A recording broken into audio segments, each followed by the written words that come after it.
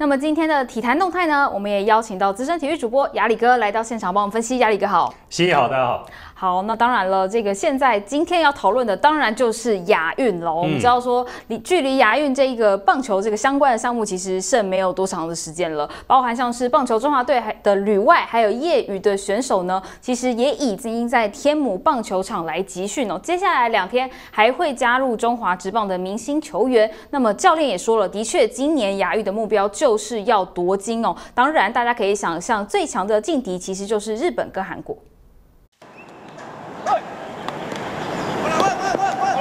站在投手丘上，猛力一投，各自站定自己的位置，练习防守。棒球中华队二十一号上午在天母棒球场展开为期三天的集训，备战接下来的杭州亚运。我是有这样认为，但是现在目前为止还不了解，因为他们有的都刚来报道而已，所以还是要这个这这段时间赶快去整合了解他们。被称为是近三届亚运以来最强的一届，因为除了中华职棒几名明星球员之外，和旅外的选手，其中还包含。二零一九年的 U 十八四名冠军投手李浩宇、王彦辰、林玉明和潘文辉想要再次替台湾夺牌，我觉得很大不一样哎，可能你 U 十八的时候大家在聊一些。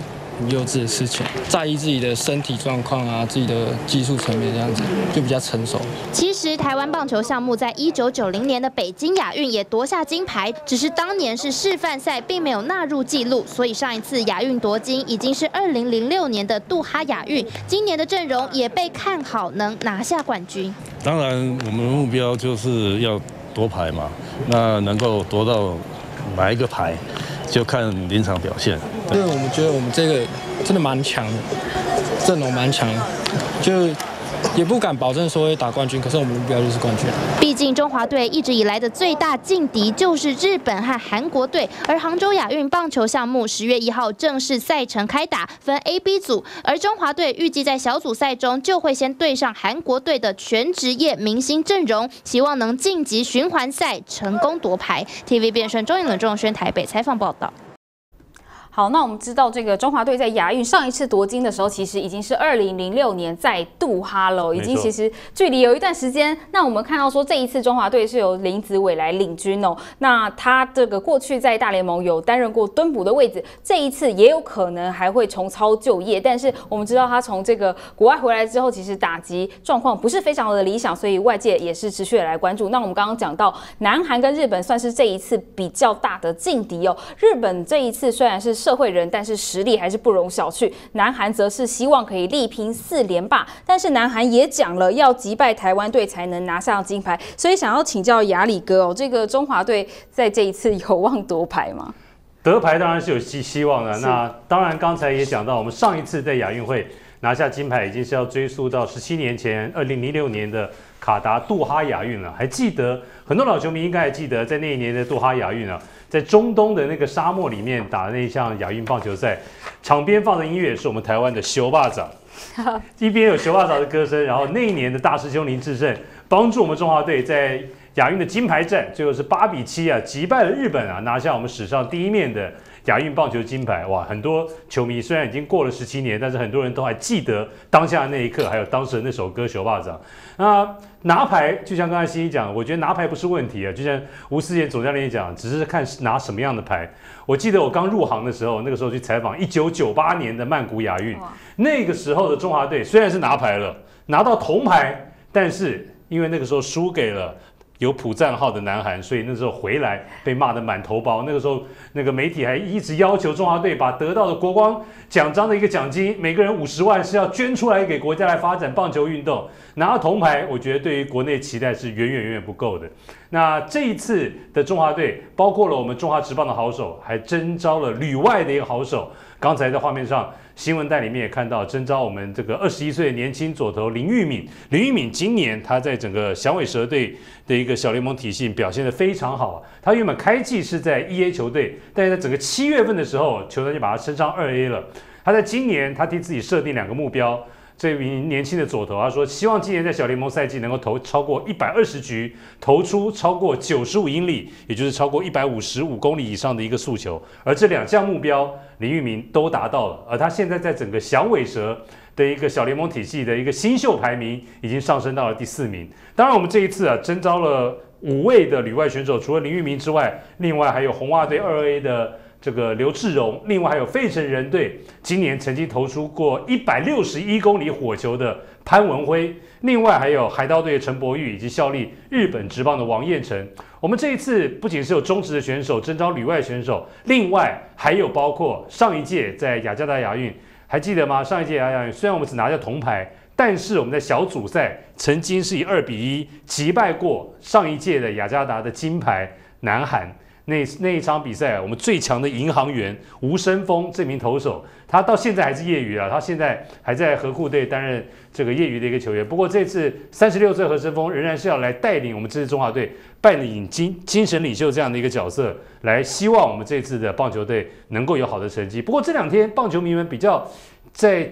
讨论的，聚焦的一个话题是魏全龙的林凯威，嗯，这名投手啊，因为前一阵受伤，是那个中华队就没有选他，结果没有想到，在中华队要出发前往这个杭州的前夕，林凯威现在又好了，又可以打中华职棒的比赛，所以很多球迷想说，林凯威到底应不应该要强力征召他来打中华队？这两天是有蛮多讨论的。是没错，看起来听雅里哥讲，我们这一次这个中华队来。亚亚运来比赛看起来实力是非常的坚强的哦。那么像是刚刚观众朋友苏诗雷英也说，主播问夺牌讲的有点唏嘘，没有，我们就是觉得说中华队的确是有可能会夺牌，当然也希望可以夺下金牌。那我们来看到说这一次除了中华队之外，另外还有羽球的项目也是大家觉得可能是夺牌的热门哦。包含像是这个我们的羽球天后戴资颖哦，上一届为台湾摘下羽球的首面金牌，目前呢她是世界排名第四名哦。羽坛的一级战区。虽然说看起来还是非常的激烈，所以大家也不确定说他有没有机会夺牌。想要请教亚里哥，因为我们知道说戴资颖他其实在最近几次比赛，对于世界排名前三名的这个选手对上来，感觉戴资颖的表现都不是非常的理想。所以想要请教说他这一次，呃，您怎么看呢？他有望可以再度拿下金牌吗？小戴已经二十九岁了，他也讲到今年的雅加达亚运，还有明年的。这个对今年的对不起，今年杭州亚运还有明年的巴黎奥运，很有可能是他最后一次来为国出征。那二十九岁戴资颖，我们讲到在女子单打羽毛球有所谓的 F 四，南韩的安喜莹、日本的山口茜、中国的陈雨菲，加上台湾的戴资颖，被并称为这个女子羽毛球坛上面的 F 四。而这四个人里面，小戴年纪最大的，二十九岁，安喜莹只有二十一岁。哇，安喜莹在今年已经是。打破了戴资颖过去单年巡回赛拿下八冠的记录，安喜莹今年已经拿下了九座的冠军。那下一个目标就是要挑战史无前例的单一年度十座冠军。那小戴在今年的整个中国超级赛当中，虽然也打到了四强，不过最后还是输给安喜莹。他今年加上今年啊，这个最近的小戴对上安喜莹已经是吞下五连败了。我们知道戴资颖在上一届的雅加达亚运是。为我们台湾拿下第一面亚运的羽毛球的金牌，而在亚运过去的单打的历史上，从来没有人卫冕过女单的一个金牌。你想，你想想看，中国那么强，或者印尼那么强，对，马来西亚，呃，很多国家都很强，但是从来没有个国家能够在亚运完成连霸。当然，小戴今年要完成连霸，难度难度是非常高。我们刚才讲到了，不管安喜莹、山口茜或者陈雨菲。中国也有地主的优势，我觉得对于小戴来说，这个都是严酷的挑战。我觉得其实就是放轻松去打，因为在先前的香港公开赛，戴资颖也传出有受伤的一个问题，目前还在休养当中。我们当然希望小戴能够恢复到百分之百，而且小戴他有一个非常特别的地方是，他。为比赛做准备，他是不会去看录影带。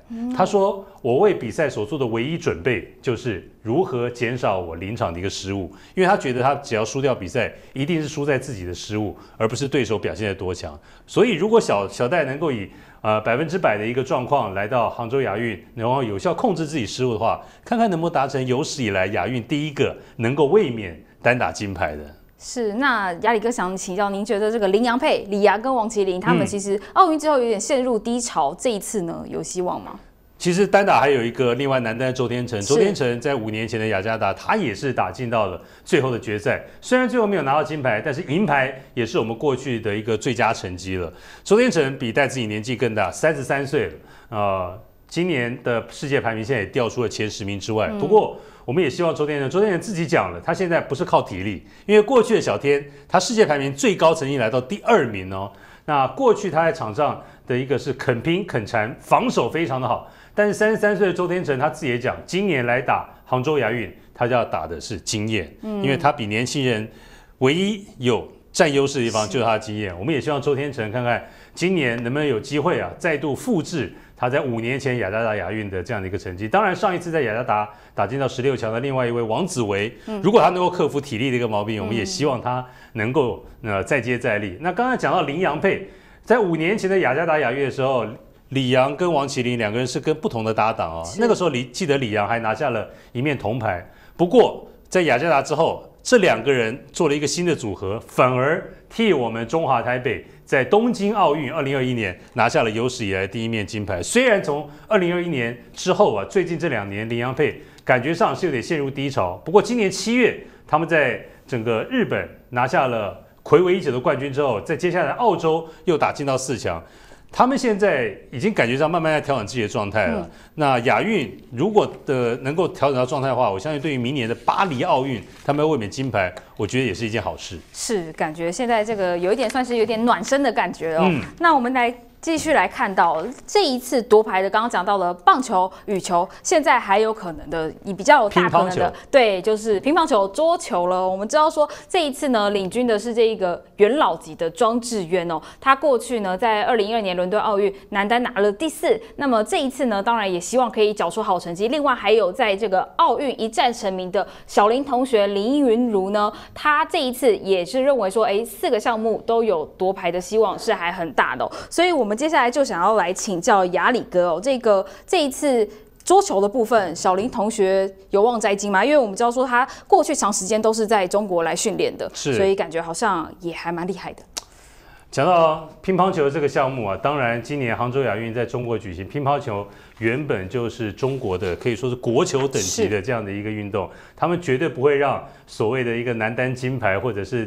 单打的金牌有机会落入别的 别的国家手里啊！我觉得林如今年虽然是要挑战这个亚运的这个首金的话，不过我觉得难度是非常非常高的。不过我们先来谈一下庄智渊，真的非常非常不容易。我刚刚讲到我那个时候采访的这个第一次亚运是一九九一九九八的曼谷亚运，是那个时候庄智渊第一次代表我们台湾出赛，那个时候他几岁？十七岁。嗯，现在庄智渊几岁？我们叫桌球教父了，四十二岁了。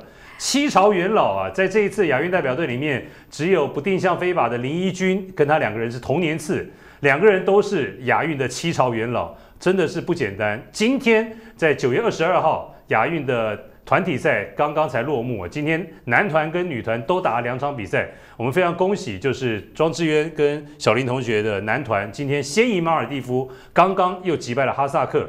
那女团郑怡静这一边呢，那虽然第一场比赛也赢了马尔蒂夫，不过第二场比赛啊跟这个北韩大战五点，就很可惜最后输下阵来。不过不要气馁，我觉得接下来单打混双的部分，我觉得我们中华队这一次的代表队实力是强的，也是足以让。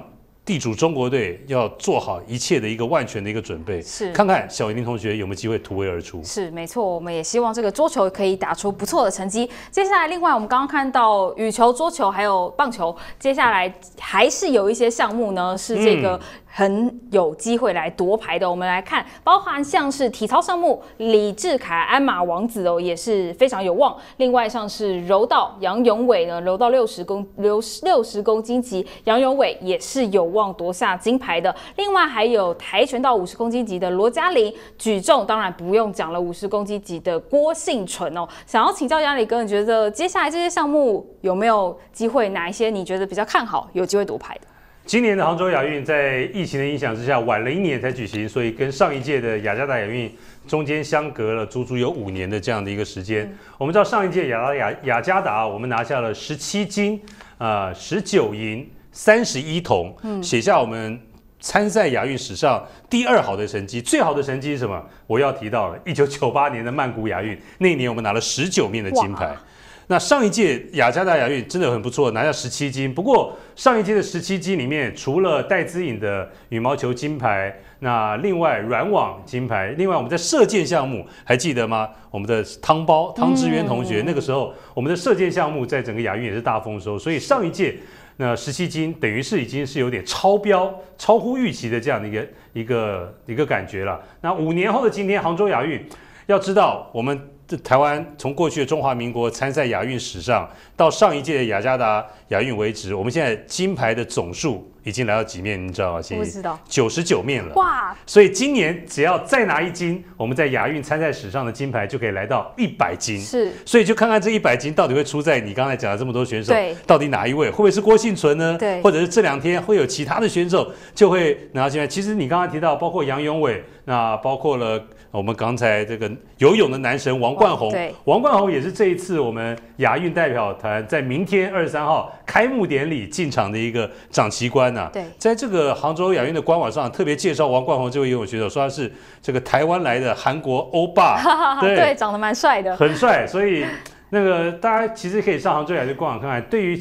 各国的选手其实介绍都还蛮详细。明天晚上的一个开幕典礼，晚上八点钟开始，其实可以透过转播来好好看一下这次跟我们台湾零时差的杭州亚运。我们这一次代表队，呃，可以说精锐尽出，我们派出了超过五百二十人这样的一个大代表团哦。如果加上队职员的话，我们有超过七百人这样的一个大团，史上最大团。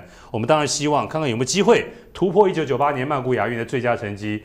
十斤，我觉得是一个门槛，是是我们体育署设定的一个基本基本门槛。如果能够超标，像上一届的雅加达一样来到二十斤的话，我觉得那就是大丰收。是没错，像是这个很多观众朋友呢，刚刚讲到。羽 A 这个羽球对羽球，Lucas 说，当初看到林洋赢得冠军，都从沙发上跳起来哦。陈良也觉得说，他也是哦。当然了，大家都希望这一次亚运可以再缴出更好的成绩。那我们也非常谢谢亚里哥今天来到节目现场帮我们分析，谢谢亚里哥，谢谢欣怡，谢谢大家。